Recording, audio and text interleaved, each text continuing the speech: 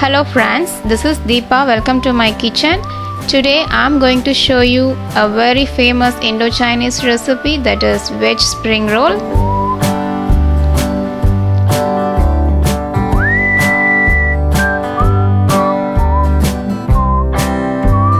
To make veg spring roll, you will need spring roll pastry. This is a frozen one and you could find it at frozen section of your grocery store and you can also make it at home. In the recipe for homemade spring roll pastry will be soon updated in my channel also. So for stuffing you will need 1 cup of cabbage half cup of carrot half capsicum and 1 onion. Cut all these four ingredients into lengthwise and make sure they are very thin so that you can enjoy the flavor of all these ingredients in every bite you can shred or grate them. Apart from that you will need some chopped coriander leaves two garlic finely chopped. And to give a nice indian touch i'm going to use one teaspoonful of garam masala powder and one tablespoon of chili sauce one teaspoon of soya sauce and uh, salt to your taste. And these sauces can be adjusted according to your taste buds.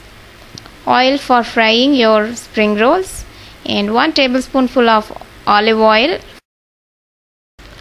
Since uh, these spring roll pastries are frozen one we need to defrost it for that just take them out from your freezer and keep it outside for at least 30 to 40 minutes till they comes to room temperature and if you want the process to be faster you could also wrap them up with wet cloth.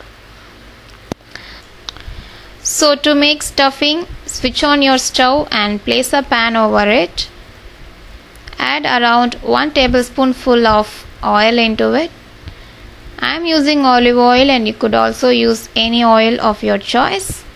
Once your oil is hot add your chopped garlic and fry them for a while till they are nice golden brown.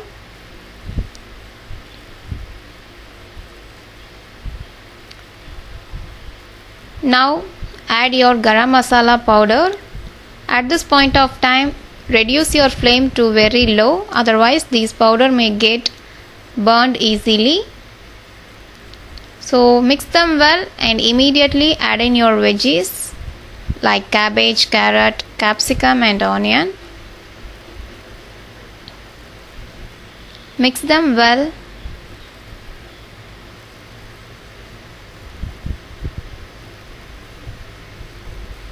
And now it's time to add in our sauces. I am adding soya sauce and chili sauce. And you can also add sweet chili sauce if you want this to be a bit sweeter.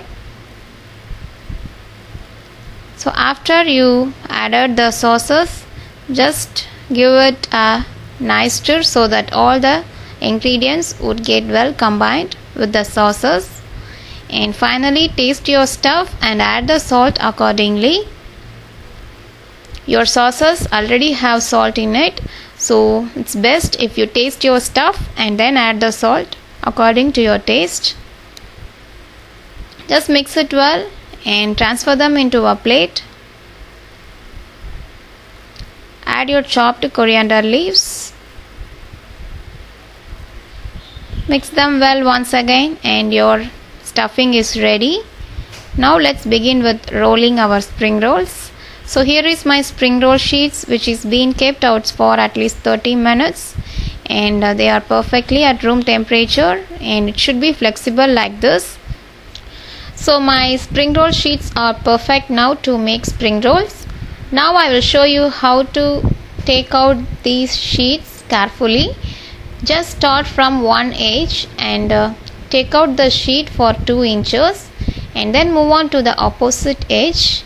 And just take out 2 more inch and gradually move on to the another edge and take them out for 2 more inch. And now I'm going to take it out from the another edge for 2 more inch and now it will be easy for you to take it out. So you need to be very careful while take this out otherwise it will get tar so this is how you can take your spring roll sheets easily. Now place it on a plate in a diamond shape like this and then place around 3 tablespoonful of stuffing inside and start from the one edge. Just wrap it. And roll them till you reach the center. And once you reach the center just flip both edges inside like this. And then roll them again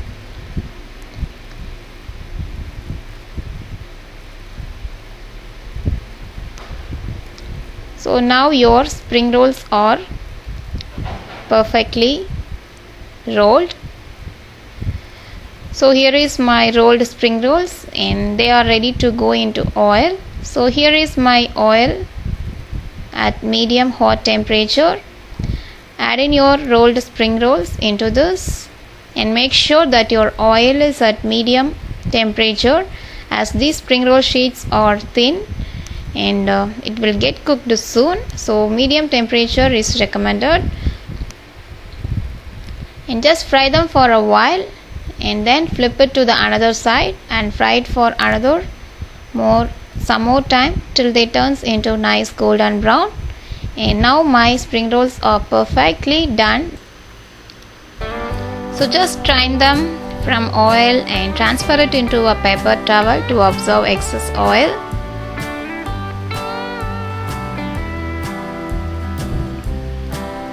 So here is my delicious crispy and crunchy colorful veg spring roll ready to serve and you could serve this one with any sauces of your choice and I hope really you enjoyed this video and if you want more such delicious and mouth-watering Indo-Chinese recipes don't forget to subscribe to my channel Deep's Kitchen. Thank you for watching and I will catch you soon with another interesting delicious recipe. Till then it's me Deepa Suresh signing off from Deep's Kitchen. Bye bye.